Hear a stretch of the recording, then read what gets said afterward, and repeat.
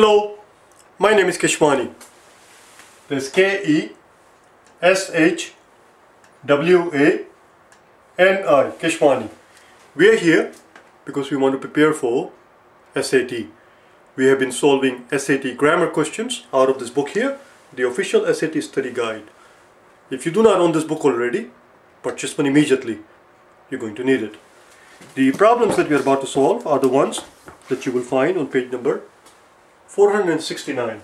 Please turn to page 469 in lesson in exam number 2 and today is our lesson number 6. Let's see what we can do there. As you turn the page on page 470 you will see that this particular type of questions that you're looking at end at number 11. Starting with number 12 there's a different type of questions there and that tells you that the scale of difficulty for this particular type of question goes only from 1 through 11 only from 1 through 11 which means the first page that you see there are easy questions on the next page as you turn the page the 11 questions that you see on the next uh, the remaining of the 11 questions that you see on page number 470 the first columns are medium and the second column on that page is hard and as we get to page number 471 we will encounter a new type of question and the scale of difficulty will begin all over again, as I always remind you. Let's get going. Enough of the talk. So these are easy questions, straightforward questions. Let's see what we can do. Confident that she was fully prepared, Ellen decided to spend the night before the before the recital. Ellen decided to spend the night before the recital reading and relaxing, reading and relaxing, relaxing. So she decided to spend the night Doing what? She's decided to spend the night reading and relaxing. And then he goes on to say, but not to be practicing. As you can see, this sentence needs help. This is not, this is not uh, proper grammar. So how did she decide to spend the night? She decided to spend the night reading and relaxing. This is a noun, this is a noun. We need a noun here also. Get rid of this part, get rid of this part, and simply put in rather, rather than practicing. And now it reads better. She decided to spend the night reading and relaxing rather than practicing before the big recital. And that's answer choice D.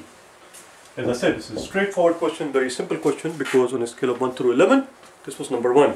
Let's do number 2. Number 2, let's see what we have. Sir Ronald, winner of the Nobel Prize, winner of the Nobel Prize, and who identified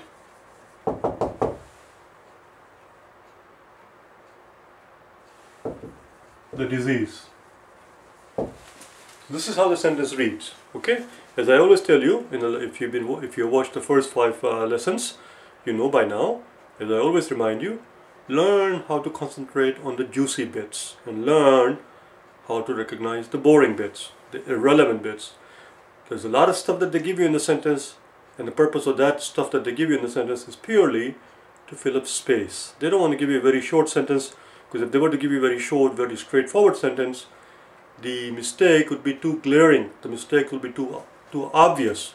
They don't want the mistakes to be too obvious. So to bury the mistakes in the sentence, they give you stuff for which I use a technical term. They give you crap. Learn to recognize what to throw away. Do you understand? And you have to do it with speed. Here's, here's a juicy bit that we're interested in. The sentence reads like this. It says, the winner of the Nobel Prize and who identified the disease. To which you will say, what the hell? The winner of the Nobel Prize, get rid of N and who. The winner of the Nobel Prize identify the disease. That's it, you're done. That's what we're looking for. Oh, I forgot to tell you this thing. And again, if, been, if you have watched day 1 through 5, you, you know by already by now, which I forgot to tell you in the first, first question as we did, always cover your answer choices. I remember just, just now I remembered it because I was about to say lift your hand now and look for one answer choice that comes closest to what we just said here. look for look for an answer choice that comes closest to it and that's what that's what reminded me that I hadn't tell you up until now to cover the answer choices. Always make sure when you're doing these grammar questions to have your answer choices covered. Do not look at the answer choices until you know what it is that you're looking for. So now we are ready. Lift your hand and pick one answer choice that comes closest to it. That's it. And that will be, see we got rid of these two words and we just are left with identify. That's all. And that's answer choice, that's answer choice E. That's it. Number three. Number three. Traveling through the, traveling through, and I can never pronounce this word here, uh, this park. Oh boy. The scenery of the waterfall and the granite peaks. And again, the scenery of the waterfall and this and this and that, we are not interested in. We are only interested in the scenery. The scenery which we photographed was beautiful. This is the bits we are interested in. The fact that they were traveling through it and the fact that they described it in a little bit more detail, the scenery of the waterfall and this and this and that, we're not interested in that. The only thing that interests us is this part. The scenery which we which we photographed, which which we photographed was beautiful.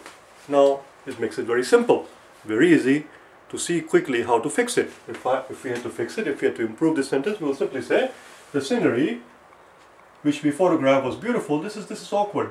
We, how about we, how about we photographed photographed the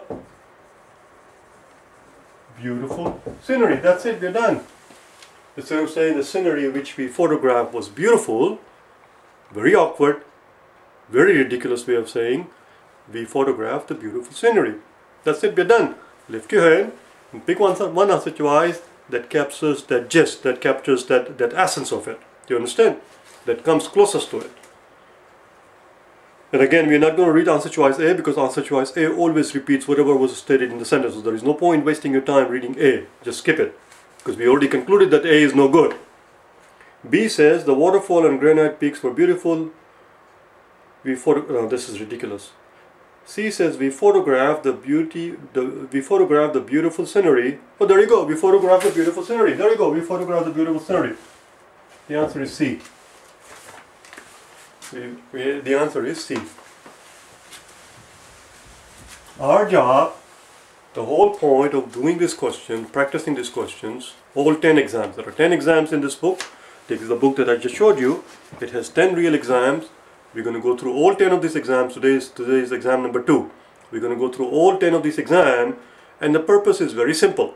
The point, the purpose, the goal is to be able to recognize, is to be able to master how to recognize the juicy bits and how to throw away the irrelevant stuff, the mumbo jumbo, the crap as, as, as, as we would like to call it, the technical term. And that comes through practice, you understand? That's all. Because sometimes people are very timid. They, they, they are, well, timid wasn't the word I wanted to use. We'll, learn, we'll come to this word in a second. They're, they're, they're, they're checking out. They say, well, should I throw it away? It might be important. But that comes through practice. The, the confidence that you need, that comes through practice. That's the number four. The poet, again, you see, as I'm reading it, I stop, I stop reading. As, as soon as you hear silence from me, that means it's mumbo jumbo. I'm not interested in that part. I'm not. I don't really give a give an F whether he's an Iranian or whether he wrote an epic thing. I'm not interested in any of that. We are only interested in the grammar of the sentence. Do you understand? I'm very, I'm very touched that he's Iranian. I'm very touched that he wrote an epic poem, but I really could care less. Do you understand? The poet,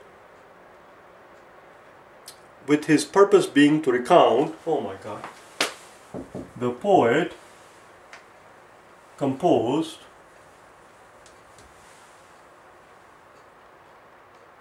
the Iranian, the Iranian national epic and composed. That's it. The poet composed with his purpose being to recount the history. Let's see what we can do. This is the part we have to concentrate on. This is the part that is uh, that is underlined. Let's see what we can do. With his purpose being to recount. Oh, jeez. The poet composed.